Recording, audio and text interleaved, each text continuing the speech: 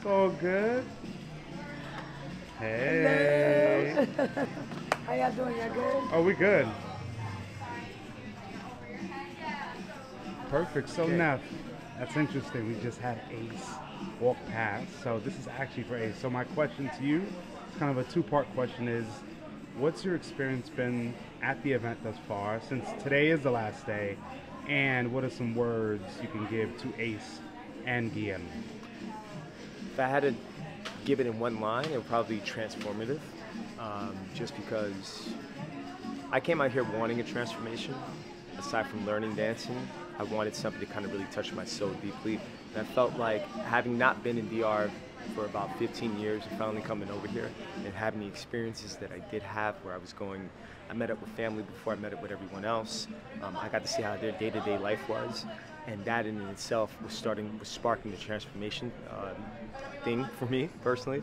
And then coming here, being with everyone with Ace and everybody else who's on the trip, it's been like really just dope. Just going through the process, doing the workshops, um, like just seeing the, the how the locale is and stuff like that, and just again being around the people here, especially with the, instruct- the instructors like Fail, Frank, and all them, like getting the lessons from them, seeing how they move, how they operate. One of the most incredible things that I think I took away was from how Fail says you know, when people ask me, do I have a plan or like, do I have any rules when I do this teaching thing? And it's like, no, I just kind of show up and do my thing because that's bachata. Bachata's no rules. So I come in with a no rules mindset and give it, and it happens to be the best every single time. Why? Because it's authentically myself.